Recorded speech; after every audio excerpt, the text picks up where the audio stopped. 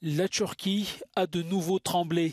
Un séisme d'une magnitude de 6,4 a été enregistré lundi soir dans la province de Hatay, déjà dévastée par le tremblement de terre du 6 février.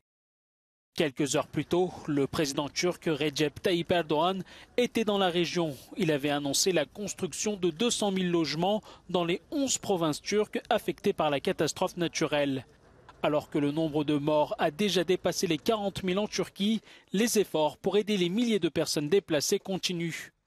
Ici à Hatay, une église orthodoxe est devenue le symbole de cette solidarité. Geldik ve buradaki kardeşlerimizden erzak yardımında bulunduk. Hatay böyle bir memleket. Yani burada Yahudisiyle, Sünnisiyle, Arabıyla, Türküyle, Kürdüyle, e, Alevisiyle herkes burada iç içe, Hristiyanıyla herkes burada iç içe yaşıyor.